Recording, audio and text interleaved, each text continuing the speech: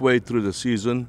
Um, we didn't start pretty solid, but it was we lost. But it, I can see that we lost because we're, we're there's certain things we're not being disciplined on.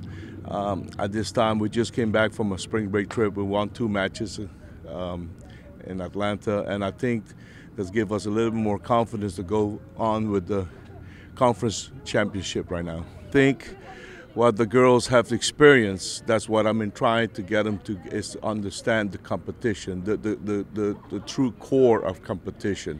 And there, there's no replacement than playing competition that that's why we have to resemble and practice the, the suffering of playing the points, playing the games, playing the sets to hopefully win the match. You know, we're focusing on, on uh, actually the discipline about the, the tactics and strategies, and then also keep on improving our conditioning level.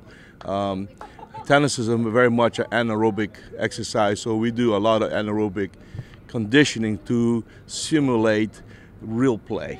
So um, I think um, the strategies in place there, we, we, we, talked about staying disciplined with the strategy.